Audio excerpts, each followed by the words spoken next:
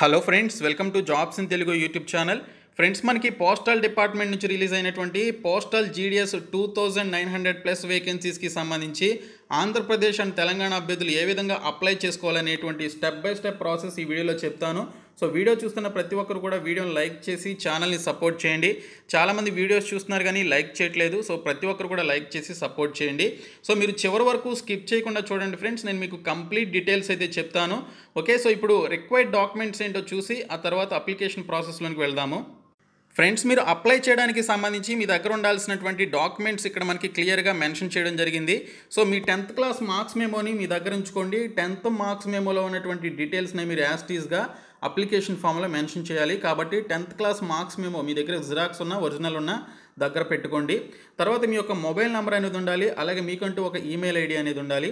అలాగే recent passport size photograph అది fifty కేబీలోపు ఉండే విధంగా మీరు దాన్ని రీసైజ్ చేసుకొని పెట్టుకోండి.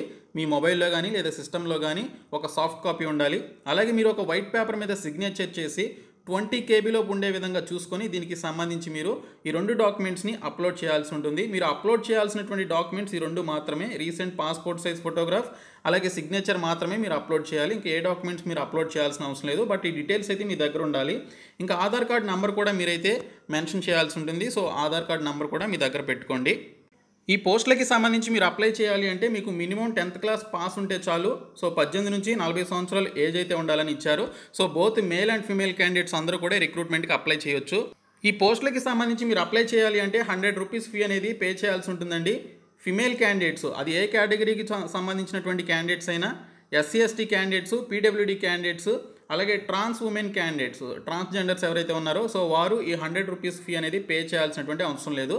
సో మిగిలినటువంటి OC OBC EWS male candidates ఎవరైతే ఉన్నారో వారు మాత్రమే అప్లికేషన్స్ అయితే అప్లికేషన్ ఫీ అయితే పే చేయాలి. So female candidates SC ST PWD and trans ఉమెన్కి సంబంధించినటువంటి క్యాండిడేట్స్ ఎవరు కూడా ఫీ అయితే పే చేయాల్సిన అవసరం లేదు. ఫ్రెండ్స్ డీటెయిల్ చూసే ముందు ప్రీవియస్గా రీలెవల్ ప్లాట్ఫామ్ గురించి చాలా వీడియోస్లో చెప్పాను. రీలెవల్ అనేది ఇండియాలోనే నంబర్ వన్ హైరింగ్ ప్లాట్ఫామ్ అండి. మీకు స్కిల్స్ ఉంటే చాలు జాబ్స్ పొందవచ్చు. మీకు డిగ్రీ ఎక్స్పీరియన్స్ లేకపోయినా సింపుల్ టెస్ట్ రాసి two hundred companies like Cred Meesho Yatra లాంటి కంపెనీల్లో జాబ్స్ అయితే పొందవచ్చు. ఇటీవల తనిష్క్ సింగ్ అనే అతనికి రీలెవల్ ప్లాట్ఫామ్ ద్వారా క్రెడ్ అనేటువంటి కంపెనీలో జాబ్ వచ్చింది. అతను ఫైనల్ ఇయర్లో ఉన్నా కూడా మంచి శాలరీ వచ్చేటువంటి కంపెనీలో జాబ్ పొందడం జరిగింది. అతను ఎందుకు నువ్వు స్పేస్ ఎక్స్ప్లోరేషన్ కంపెనీలో జాయిన్ అవ్వాలి అనుకున్నావు అని అడిగితే I want my code to run on a different planet అని చెప్పేసి సమాధానం ఇచ్చాడు. సో అది విన్న తర్వాత మీకు గనక అంబిషన్స్ అండ్ గోల్స్ ఉంటే అనుకున్నది పొందవచ్చు అని మీరు కూడా తనిష్క్ లాగానే మీకు నచ్చిన కెరియర్ని రీలెవల్ ప్లాట్ఫామ్లో సింపుల్ టెస్ట్ ద్వారా చూస్ చేసుకోవచ్చు. First వీక్లోనే twenty seven candidates front and back and development జాబ్స్కి టెన్ ల్యాక్ పరాణం శాలరీతో సెలెక్ట్ అయ్యారు. ఇప్పుడు థర్టీన్ డిఫరెంట్ టెస్ట్స్ అయితే ఉన్నాయి. సేల్స్ హెచ్ఆర్ అనలిస్ట్ ఇలాగా మనకి కొత్తగా ఏప్రిల్లో కూడా త్రీ న్యూ టెస్ట్లని లాంచ్ చేయడం జరిగింది. అవి digital marketing software testing blockchain అని చెప్పేసి ఈ విధంగా కొత్త టెస్టులు కూడా లాంచ్ చేశారు. అలాగే క్వాలిఫై మార్క్స్ని ఏడు వందల నుంచి ఐదు వందలకి తగ్గించడం జరిగింది. సో మీకు ఈజీగా జాబ్ వచ్చే ఛాన్సెస్ కూడా దీనివల్ల ఉన్నాయి కాబట్టి ఈరోజే మీరు ఫ్రీగా రిజిస్టర్ చేసుకొని జాబ్ అయితే పొందండి. మీకు ఫ్రీ యాపిల్ గుడీస్ కూడా రీలెవెల్ వారు పంపించడం జరుగుతుంది. సో డిస్క్రిప్షన్లో లింక్ ఉంటుంది చూడండి. ఫ్రెండ్స్ మీరు అప్లికేషన్ ఫామ్ని త్రీ స్టేజెస్లో కంప్లీట్ చేసుకోవాల్సి ఉంటుంది. స్టేజ్ వన్ వచ్చేసి ఫస్ట్ రిజిస్ట్రేషన్ చేసుకోవాలి. సో ప్రతి ఒక్కరు కూడా రిజిస్ట్రేషన్ అయితే చేసుకోవాలి. అప్పుడు మీకు ఒక ఐడి అనేది వస్తుంది. ఆ తర్వాత స్టేజ్ టూలో ఫీ పేమెంట్ అయితే చేయాల్సి ఉంటుంది. ఎవరైతే ఫీ పేమెంట్ చేయాల్సినటువంటి క్యాండిడేట్స్ ఉన్నారో వారు ఫీ పేమెంట్ చేయాలి. స్టేజ్ త్రీ వచ్చేసి మీరు ఆన్లైన్ అప్లికేషన్ అనేది ఫైనల్గా సబ్మిట్ చేయాల్సి ఉంటుంది. సో ఈ విధంగా మీరు త్రీ స్టేజెస్లో మీరు అప్లికేషన్స్ అయితే సబ్మిట్ చేయాల్సి ఉంటుంది. ఇప్పుడు స్టేజ్ వన్లో మీరు రిజిస్ట్రేషన్ ఏ విధంగా చేసుకోవాలనేది చూద్దాము. సో ఈ విధంగా మనకి రిజిస్ట్రేషన్ ఫామ్ అనేది ఓపెన్ అవుతుంది. ఇక్కడ చూసుకున్నట్లయితే ఫస్ట్ వన్ వచ్చేసి మీ యొక్క టెన్ డిజిట్ మొబైల్ నెంబర్ అనేది ఇక్కడ మెన్షన్ చేసి వ్యాలిడేట్ మొబైల్ నెంబర్ అనేటువంటి యొక్క ఆప్షన్పై క్లిక్ చేయాలి.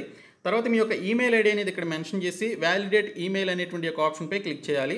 తర్వాత applicant name as per tenth class marks list అని చెప్పేసి మెన్షన్ చేశారు. టెన్త్ క్లాస్ మార్క్స్ మెమో మీద మీ పేరు ఏ విధంగా ఉంటే ఆ విధంగా మీరు ఇక్కడ ఎంటర్ చేయాలి. క్యాపిటల్స్లో ఉంటే క్యాపిటల్స్ స్మాల్స్లో ఉంటే స్మాల్స్ మీరు ఖచ్చితంగా టెన్త్ క్లాస్ మార్క్స్ మేము ప్రకారం మీరు ఎంటర్ చేయాల్సి ఉంటుంది.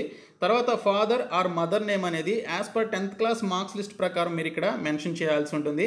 తర్వాత డేట్ ఆఫ్ బర్త్ వచ్చేసి as per tenth class marks మెమోలో మనకి ఏదైతే డేట్ ఆఫ్ బర్త్ ఉంటుందో ఆ డేట్ ఆఫ్ బర్త్ని మీరు ఇక్కడ ఎంటర్ చేయాల్సి ఉంటుంది. తర్వాత మీకు సంబంధించినటువంటి జెండర్ని అంటే మీరు మేలా ఫిమేల్ అనేది ఇక్కడ మీరు సెలెక్ట్ చేసుకోవాలి. So male female and transgender కూడా మనకి ఇక్కడ ఇచ్చారు. సో ఈ విధంగా మీరు ఆప్షన్ అయితే ఇక్కడ సెలెక్ట్ చేసుకోవాల్సి ఉంటుంది. తర్వాత మీకు సంబంధించినటువంటి కమ్యూనిటీ అంటే క్యాస్ట్ ఏంటి అనేది మీరు ఇక్కడ సెలెక్ట్ చేసుకోవాలి. దీన్ని బేస్ చేసుకుని మీ క్యాస్ట్ని బట్టి ఎవరు హండ్రెడ్ రూపీస్ ఫీ పే చేయాలనేది ఇక్కడ మనకి తెలుస్తుంది. సో ఎస్సీ ఎస్టీ క్యాండిడేట్స్కి అలాగే ఫిమేల్ క్యాండిడేట్స్కి పీడబ్ల్యూడి క్యాండిడేట్స్కి అలాగే ట్రాన్స్జెండర్స్కి మనకి ఇక్కడ ఎటువంటి అప్లికేషన్ ఫీ అయితే లేదు. ఫిమేల్ క్యాండిడేట్స్ కూడా లేదు. So only UR EWS and OBC male candidates మాత్రమే ఫీ పే చేయాలి. సో నేను ఇక్కడ నాకు సంబంధించినటువంటి కమ్యూనిటీ సెలెక్ట్ చేసుకున్నాను ఎగ్జాంపుల్కి తర్వాత circle in which tenth class passed అని చెప్పేసి అడుగుతున్నారు. సర్కిల్ అంటే మీరు ఏ స్టేట్లో టెన్త్ క్లాస్ పాస్ అయ్యారు? ఆంధ్రప్రదేశ్ తెలంగాణ అస్సామా గుజరాత్. సో మీ స్టేట్ ఏంటనేది మీరు ఇక్కడ మీరు సెలెక్ట్ చేసుకోవాల్సి ఉంటుంది. తర్వాత ఇయర్ ఆఫ్ పాసింగ్ ఏంటనేది మీరు ఇక్కడ సెలెక్ట్ చేసుకోవాలి. సో ఆ పర్టికులర్ స్టేట్లో ఏ ఇయర్లో మీరు టెన్త్ క్లాస్ పాస్ అయ్యారు అనేది మీరు ఇక్కడ సెలెక్ట్ చేసుకోవాల్సి ఉంటుంది. సో సెలెక్ట్ చేసుకున్న తర్వాత ఇక్కడ ఒక క్యాప్చా కోడ్ అనేది మనకి కనిపిస్తుంది. ఈ క్యాప్చా కోడ్ని ఈ పర్టికులర్ బాక్స్లో మీరు ఎంటర్ చేసి సబ్మిట్ అనేటువంటి ఆప్షన్పై క్లిక్ చేయాలి.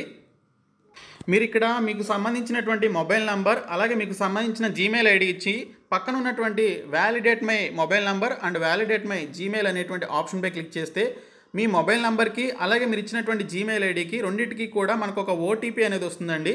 సో ఆ ఓటీపీని మీరు ఇక్కడ ఇచ్చినటువంటి ఈ బాక్స్లో మీరు మెన్షన్ చేసి సబ్మిట్ ఓటీపీ అనేటువంటి ఒక ఆప్షన్పై క్లిక్ చేయాలి. క్లిక్ చేస్తే మనకి ఈ విధంగా తిరుగుతుంది. తిరిగిన తర్వాత లోడ్ అయిన తర్వాత మనకి సబ్మిట్ సక్సెస్ఫుల్లీ అని చెప్పేసి వస్తుందన్నమాట.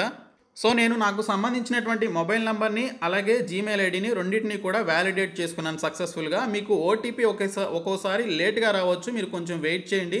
వెయిట్ చేస్తే ఖచ్చితంగా వస్తుంది. తర్వాత చూసుకున్నట్లయితే లాస్ట్లో నేను క్యాప్చా కోడ్ ఎంటర్ చేసి సబ్మిట్ చేస్తాను. సో సబ్మిట్ చేసిన తర్వాత నాకుంటూ ఒక రిజిస్ట్రేషన్ అనేది కంప్లీట్ అవుతుంది. నేను నా డీటెయిల్స్ అన్నీ కూడా ఫిలప్ చేసి నేను రిజిస్ట్రేషన్ సబ్మిట్ చేయడం జరిగింది. సో నాకు ఇక్కడ చూపిస్తుంది first stage of registration is completed. Please continue filling the details of registration అని చెప్పేసి ఇక్కడ చూపించడం జరుగుతుంది. ఓకే అనేటువంటి ఆప్షన్పై క్లిక్ చేస్తున్నాను. సో ఓకే అనేటువంటి ఆప్షన్పై క్లిక్ చేసిన తర్వాత ఈ విధంగా నాకు please continue filling your details below అని చెప్పేసి ఈ విధంగా నాకు చూపించడం జరుగుతుంది. సో ఈ డీటెయిల్స్ అన్నీ కూడా నేను ఫిలప్ చేయాల్సి ఉంటుంది. సో ఈ డీటెయిల్స్ అన్నీ ఫిలప్ చేసి చివరిగా నేను ప్రివ్యూ చూసుకోవాల్సి ఉంటుంది. సో ప్రివ్యూ చూసుకొని తర్వాత సబ్మిట్ అనేటువంటి ఆప్షన్పై క్లిక్ చేయాల్సి ఉంటుంది. సో ఇక్కడ మీరు మీకు సంబంధించినటువంటి డీటెయిల్స్ అన్నీ కూడా మీరు ఫిలప్ చేసి అలాగే మీకు సంబంధించిన ఫోటో అండ్ సిగ్నేచర్ కూడా అప్లోడ్ చేసి మీరు ఇక్కడ సబ్మిట్ అనేటువంటి ఆప్షన్పై క్లిక్ చేయడం ద్వారా మీకంటూ ఒక రిజిస్ట్రేషన్ ఐడి అనేది రావడం జరుగుతుంది. ఆ రిజిస్ట్రేషన్ ఐడిని మీరు తీసుకొని మీరు అప్లై అనేటువంటి స్టేజ్ త్రీలోనికి వెళ్ళి మీరు అప్లికేషన్ అయితే కంప్లీట్ చేసుకోవాల్సి ఉంటుంది. సో ఇక్కడ చూసుకున్నట్లయితే మీరు మీకు సంబంధించిన ఆధార్ కార్డ్ నెంబర్ ఇవ్వాలనుకుంటే ఇవ్వచ్చు లేదా వదిలేసేయచ్చు. ఇది మ్యాండేటరీ ఫీల్డ్ అయితే కాదు. మీరు ఫిజికల్లీ హ్యాండిక్యాప్డ్ అయితే ఎస్ అనేటువంటి ఆప్షన్ ఇవ్వండి. లేదు నో అయితే నో అనేటువంటి ఆప్షన్ ఇవ్వండి. సో ఫిజికల్లీ హ్యాండిక్యాప్డ్కి సంబంధించి మనకి category A B C category C and D అని చెప్పేసి ఈ విధంగా మనకి ఇచ్చారు. సో ఆ కేటగిరీలో పర్టికులర్ ఫిజికల్లీ హ్యాండిక్యాప్డ్ ఎవరైతే ఉన్నారో వారు దానికి సంబంధించినటువంటి నోటిఫికేషన్లు ఇచ్చినటువంటి డీటెయిల్స్ని చూసుకొని ఇక్కడ ఆప్షన్స్ అయితే సెలెక్ట్ చేసుకోవాలి. ఎవరైతే ఫిజికల్లీ హ్యాండిక్యాప్డ్ ఎస్ అని చెప్పేసి ఇస్తారో సో వారు చేయాల్సినటువంటి పని ఇది మీరు ఫిజికల్లీ హ్యాండిక్యాప్డ్ కాకపోతే నో అని చెప్పేసి ఇవ్వండి. తర్వాత languages studied in tenth class అని చెప్పేసి ఇక్కడ మనకి డిఫరెంట్ లాంగ్వేజెస్ అయితే చూపిస్తాయి. మీరు ఏ లాంగ్వేజ్లో టెన్త్ క్లాస్ చదివితే ఆ లాంగ్వేజ్ని మీరు ఇక్కడ సెలెక్ట్ చేసుకోండి. నేను తెలుగులో చదివాను కాబట్టి తెలుగు అని చెప్పేసి ఇచ్చాను. ఇంకా వెదర్ ఎంప్లాయిడ్ అని చెప్పేసి అడిగారు. సో ఎవరైనా ఉద్యోగం చేస్తున్నటువంటి ఈ జాబ్ ఉద్యోగం చేస్తున్నటువంటి వారు ఈ జాబ్స్కి సంబంధించి అప్లై చేయాలి అనుకుంటే వారు ఎస్ అని చెప్పేసి ఇవ్వాలి. సో మీరు ఎటువంటి జాబ్ చేయకు చేయకుండా ఉన్నట్లయితే నో అని చెప్పేసి ఇవ్వండి. సో మీరు ఎస్ అని చెప్పేసి ఇచ్చినట్లయితే మీ దగ్గర ఎన్ఓసి సర్టిఫికేట్ అంటే నో అబ్జెక్షన్ సర్టిఫికేట్ అవైలబుల్గా ఉందా లేదా అని చెప్పేసి అడుగుతున్నారు. సో దీనికి సంబంధించి ఎస్ అనేటువంటి ఆప్షన్ వారు ఆ పర్టికులర్ ఎంప్లాయీస్ ఇవ్వాల్సి ఉంటుంది. తర్వాత ఇక్కడ మీ యొక్క ఫోటోకి సంబంధించి ఫిఫ్టీ కేబీలోపు ఉండే విధంగా చూస్ ఫైల్ అనేటువంటి ఒక ఆప్షన్పై క్లిక్ చేసి మీ యొక్క ఫోటోని అప్లోడ్ చేసుకోవాల్సి ఉంటుంది. సో ఫిఫ్టీ కేబీలోపు ఉండే విధంగా చూసుకోండి. తర్వాత సిగ్నేచర్కి సంబంధించి ట్వంటీ కేబీలోపు ఉండే విధంగా చూసుకొని మీ యొక్క సిగ్నేచర్ని ఇక్కడ అప్లోడ్ చేయండి. తర్వాత ఇక్కడ ఒక క్యాప్చా కోడ్ అయితే ఉంటుంది. ఈ కోడ్ని మీరు ఎంటర్ చేయాలి. ఈ కోడ్ మనకి చాలా తక్కువ టైంలోనే ఎక్స్పైర్ అయిపోతూ ఉంటుంది. సో ఫ్రెష్ కోడ్ని మీరు చూస్ చేసుకొని ఇక్కడ ఫ్రెష్ అనేటి ఇక్కడ రిఫ్రెష్ చేసుకొని దీనికి సంబంధించిన ఫ్రెష్ కోడ్ని ఇక్కడ ఎంటర్ చేసి ప్రివ్యూ చూసుకోవాలి. ప్రివ్యూలో మీరు కరెక్ట్ డీటెయిల్స్ ఇచ్చారా లేదా అనేది అన్నీ ఒకసారి చూసుకొని ఆ తర్వాత ఇక్కడ చెక్ బాక్స్పై క్లిక్ చేసి సబ్మిట్పై క్లిక్ చేసిన వెంటనే మీకంటూ ఒక రిజిస్ట్రేషన్ ఐడి అనేది ఎస్ఎంఎస్ రావడం జరుగుతుంది అండ్ మెయిల్ కూడా రావడం జరుగుతుంది. సో మీ యొక్క రిజిస్ట్రేషన్ ఫామ్ని మీరు ఈ విధంగా మనకి రిజిస్ట్రేషన్ ఫామ్ మీరు తీసుకోవాల్సి ఉంటుంది. ఇక్కడ ప్రింట్ అనేటువంటి ఆప్షన్ ఉంటుంది. సో ప్రింట్పై క్లిక్ చేసినట్లయితే మీకు ఒక రిజిస్ట్రేషన్ ఫామ్కి సంబంధించి ప్రింట్ కూడా వస్తుందన్నమాట. సో ఇందులో మీకు రిజిస్ట్రేషన్కి సంబంధించిన ఐడి ఉంటుంది. మీకు సంబంధించిన డీటెయిల్స్ అన్నీ కూడా ఉంటాయి. ఇప్పుడు మనకు వచ్చినటువంటి ఒక రిజిస్ట్రేషన్ ఐడిని యూజ్ చేసుకొని స్టేజ్ త్రీకి సంబంధించి మీరు అప్లికేషన్స్ అయితే దీనికి సంబంధించి సబ్మిట్ చేయాల్సి ఉంటుంది. సో ఎవరైతే ఫీ పేమెంట్ చేయాల్సినటువంటి క్యాండిడేట్స్ ఉన్నారో వాళ్ళు స్టేజ్ టూలో దీనికి సంబంధించినటువంటి అప్లికేషన్ ఫీ అయితే పే చేయాలి. సో మీకు రిజిస్ట్రేషన్ కంప్లీట్ అయిపోయిన తర్వాత స్టేజ్ వన్లో స్టేజ్ టూకి సంబంధించి ఫీ పేమెంట్ ఎవరైతే చేయాల్సి ఉంటుందో వారు ఫీ పేమెంట్ అయితే చేయాల్సి ఉంటుంది. తర్వాత స్టేజ్ త్రీ వచ్చేసి అప్లై ఆన్లైన్ అనేటువంటి ఒక ఆప్షన్పై క్లిక్ చేసిన వెంటనే మనకి ఇక్కడ అప్లైకి సంబంధించినటువంటి యొక్క డీటెయిల్స్ అయితే చూపించడం జరుగుతుంది. సో దీనిపైన క్లిక్ చేసిన వెంటనే మనకి ఇక్కడ ఈ విధంగా అప్లికేషన్ ఫామ్ అయితే ఓపెన్ అవుతుంది. మీకు వచ్చినటువంటి రిజిస్ట్రేషన్ నెంబర్ని ఇక్కడ ఎంటర్ చేసి circle applying for okay so మీరు ఏ సర్కిల్కి అప్లై చేస్తున్నారు అనేది ఇక్కడ మీరు సెలెక్ట్ చేసుకోవాలి ఓకే సో మీరు ఏ స్టేట్కి అప్లై చేస్తున్నారో అదే మీకు సర్కిల్ కింద వస్తుంది. ఆంధ్రప్రదేశ్ అయితే ఆంధ్రప్రదేశ్ లేదా తెలంగాణ అయితే తెలంగాణ అని చెప్పేసి ఇక్కడ మీరు సెలెక్ట్ చేసుకోవాల్సి ఉంటుంది. సో ఇక్కడ నేను ఆంధ్రప్రదేశ్ అనేటువంటి ఆప్షన్ సెలెక్ట్ చేసుకున్నాను. నాకు సంబంధించినటువంటి రిజిస్ట్రేషన్ ఐడి కూడా ఎంటర్ చేసి సబ్మిట్ అనేటువంటి ఆప్షన్పై క్లిక్ చేస్తాను. నేను రిజిస్ట్రేషన్ ఐడి అలాగే సర్కిల్ని సెలెక్ట్ చేసుకున్న తర్వాత నేను సబ్మిట్పై క్లిక్ చేసిన వెంటనే నేను రిజిస్ట్రేషన్ చేసుకున్నప్పుడు ఏదైతే మొబైల్ నెంబర్ ఇచ్చానో ఆ మొబైల్ నెంబర్కి ఒక ఓటీపీ అయితే పంపించడం జరిగింది. నాకు పైన ఎస్ఎంఎస్ కూడా వచ్చింది. నేను ఓకే అనేటువంటి ఆప్షన్పై క్లిక్ చేసి ఈ పర్టికులర్ ఓటీపీని నేను ఇక్కడ ఎంటర్ చేస్తాను. ఎంటర్ చేసి ఇక్కడ ఇచ్చినటువంటి క్యాప్చా కోడ్ని ఇక్కడ ఎంటర్ చేసి నెక్స్ట్ అనేటువంటి ఆప్షన్పై క్లిక్ చేస్తాను. సో నేను నెక్స్ట్ పై క్లిక్ చేసిన తర్వాత నాకు ఈ విధంగా అప్లికేషన్ ఫామ్ అయితే ఓపెన్ అయిందండి. ఇక్కడ నేను నాకు సంబంధించినటువంటి అడ్రస్ అయితే ఇవ్వాలి. నా డోర్ నెంబర్ అలాగే స్ట్రీట్ నేము విలేజ్ నేము అలాగే పంచాయత్ లేదా మండల్కి సంబంధించినటువంటి నేము పిన్ కోడ్ ఎంటర్ చేసి నేను ఇక్కడ అదే అడ్రస్ కమ్యూనికేషన్ అడ్రస్సే నాకు పర్మనెంట్ అడ్రస్ అయినట్లయితే ఈ చెక్ బాక్స్పై క్లిక్ చేసిన వెంటనే ఇదే అడ్రస్ నాకు ఇక్కడ చూపించడం జరుగుతుంది.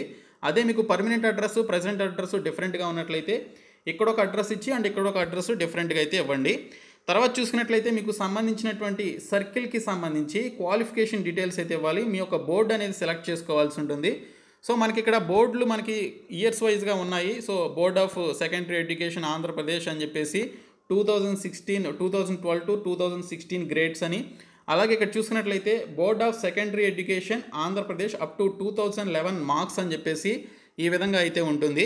సో మార్క్స్లో వచ్చినటువంటి వారు ఓకే మనకి రెండు వేల పదకొండు వరకు మార్క్స్లో అయితే వచ్చాయి. రెండు వేల పన్నెండు నుంచి రెండు వేల పదహారు వరకు గ్రేడ్స్లో అయితే ఉన్నాయి. తర్వాత మళ్ళీ మనకి మారడం జరిగింది. సో ఈ విధంగా మీరు ఆప్షన్స్ అయితే సెలెక్ట్ చేసుకోవాలి. సో సెలెక్ట్ చేసుకున్న తర్వాత ఇక్కడ చూసుకున్నట్లయితే సెలెక్ట్ రిజల్ట్ టైప్ అని చెప్పేసి అడుగుతున్నారు. సో మార్క్స్ కాబట్టి మార్క్స్ అనేటువంటి ఆప్షన్ నేను ఇక్కడ సెలెక్ట్ చేసుకున్నాను. సో ఆ మార్క్స్ ఏంటనేది నేను సబ్జెక్టుల వారికి ఇక్కడ ఎంటర్ చేయాల్సి ఉంటుంది.